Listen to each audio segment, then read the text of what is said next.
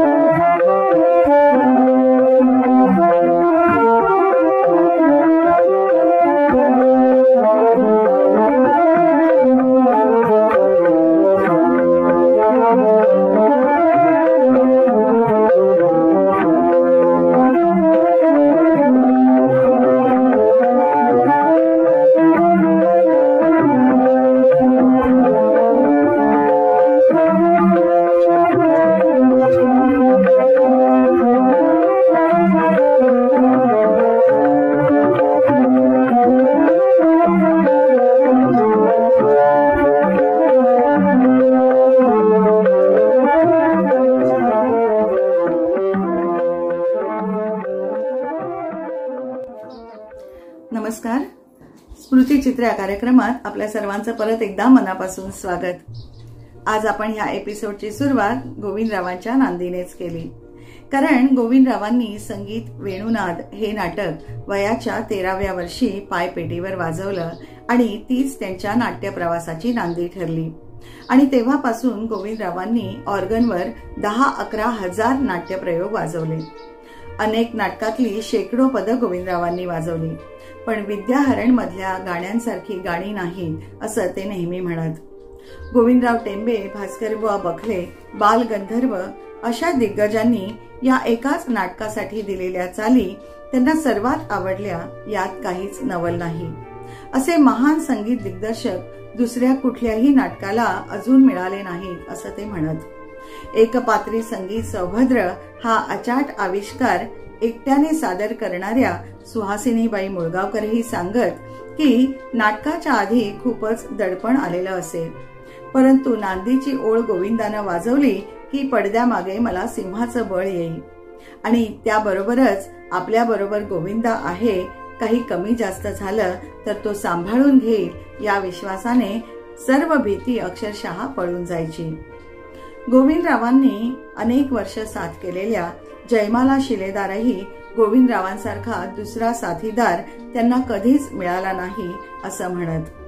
गोविंदरावांबद्दल बोलताना त्यांचा आनंद आणि आदर अक्षरशः ओसंडून वाहत असे. मुंबई बाहेरच्या गावात नाटकांचे प्रयोग बऱ्याच वेळी उघड्यावर म्हणजे मैदानात होत असत. कमालीची थंडी बोचरा वारा असं असूनही गोविंदरावांची बोटं कधी आखडली नाहीत किंवा अडकली नाहीत. साधारणपणे एकोणीसशे शहात्तरच्या सुमारास त्यांच्या गावात म्हणजे गुहागरला गणपती उत्सवात संगीत सौभद्रचा प्रयोग करायचं गावकऱ्यांनी ठरवलं. आणि विशेष म्हणजे गावातल्या नटांनीच सर्व भूमिका करायच्या असंही ठरलं. गोविंदराव अर्जुनाची भूमिका करणार होते. नाटकातली सर्व गाणी गोविंदरावांनीच आलाप ताना व्हेरिएशन सकट बसवून घेतली होती. संगीत भूषण राम मराठे महाराष्ट्र गंधर्व सुरेश हळदणकर गोमंतकीय गंधर्व प्रसाद सावकार संगीत सौदागर छोटा गंधर्व आणि जयमाला शिलेदार यांना गोविंदरावांनी केलेली साथ दैवीच मानावी लागेल. गोविंदरावांच्या उजव्या हातात प्रत्यक्ष परमेश्वर आहे असं सुरेश हळदणकरांनी एकदा गौरवाने सांगितलं होतं. तर श्रीरंगाला तो पांढरी साथ घ्यायचा म्हणजे खूप चढ्या स्वरातही तो सहज गायचा असं गोविंदराव आदराने म्हणत. हळदणकरांच्या आधी देवा पांडुरंगा गोविंदारे गोपाळारे पद्मनाभा नारायणा श्रीरंगा कमलाकांता इत्यादी लोकप्रिय रेकॉर्ड्समध्ये गोविंदरावांची अप्रतिम साथ ऐकायला मिळते. श्रीरंगासारख्या गाण्यात तर साथीदाराने गायकाला पुढचा रस्ता कसा दाखवावा याचा वस्तुपाठच गोविंदरावांनी दाखवला आहे. त्यावेळी गायक आणि साथीदार अशी लेबल नव्हती सर्वच कलाकार होते आणि एकमेकांचे सुहृद होते. हे राम मराठे आणि गोविंदराव सुरेश हळदणकर आणि गोविंदराव आणि वसंतराव आणि गोविंदराव अशा जोड्या पाहिल्या की आपल्याला जाणवतं. गोविंदरावांची साथ आवर्जून घेणाऱ्या सुरेश हळदणकरांना त्यांच्या वादनाबद्दल अतिशय आदर होता. सुरेश बुवा हळदणकरांनी एकदा सांगितलं की माझी जागा गेली की गोविंदानी ती तशीच्या तशी उचलायची. आणि मग टाळ्या. असा प्रकार सतत सुरू होत असे. आणि तीन तासांऐवजी सहा सहा तास मैफल चालायची. गोविंदरावांनी कुमार गंधर्वांचं गाणं एकोणीसशे बेचाळीसमध्ये नागपूर जवळ वाजवलं. तबल्याला होते बेळगावचे बसवराज बेंडीगिरी. गोविंदराव म्हणत की एकही रिहर्सल न करता डायरेक्ट गाणं वाजवलं. सफेद चार सूर होता. तेव्हाच कुमार नॅशनल क्लास आर्टिस्ट होता. आणि मला वाजवायलाही देत असे. पुढे हसून असंही म्हणत की मला सर्व बऱ्या वाईट गोष्टी कुमारनेच शिकवल्या. म्हणजे माझा सर्वच बाबतीतला गुरु होता तो. कुमारजी गोविंदरावांपेक्षा एक वर्षाने मोठे होते. गोविंदराव त्यांना आपला मोठा भाऊ मानत असत. गोविंदरावांचं आणि भालचंद्र पेंढारकर यांचं नातंही सुरताला समान अतूट आणि अभंग राहिलं. नाटकातले आपले गुरु असा गोविंदराव त्यांचा उल्लेख करत. त्यांना एकमेकांबद्दल खूप प्रेम आणि आदर होता. गोविंदरावांनी पेंढारकरांच्या ललित करादर्शसाठी नाटकांचे हजारो प्रयोग वाजवले. दुरितांचे तिमिरा जावो या नाटकाचे अठराशेच्या आसपास प्रयोग झाले. नंतर शाबास बिरबल सत्तेचे गुलाम सौभद्र अशी नाटकं वाजवली. अण्णा पेंढारकरांना गोविंदरावांशिवाय दुसरा कोणी ऑर्गनवर चालत नाही ही गोष्ट सर्वश्रुत होती. आज इथेच थांबते. गोविंदरावांबरोबर पुढच्या नाट्य प्रवासासाठी पुढच्या एपिसोडमध्ये जाऊ. गोविंदरावांना नम्र आदरांजली आणि अभिवादन. त्याची काही झलक जर मला दाखवलीस. दाखवतो. हा उदाहरणार्थ. अं, चंद्रिका ही जणू. हा. याची मूळ चाल जी आहे हा. ती दादऱ्यामध्ये आहे. त्याच्यानंतर मग ते काही लोक त्रितालाच म्हणायला लागले. आणि काही नंतर मग दिनाथराव जेव्हा आले तर ते रूपकमध्ये म्हणत तर तिन्ही त्या तालामध्ये. तेवढं पद वाजवून वाजून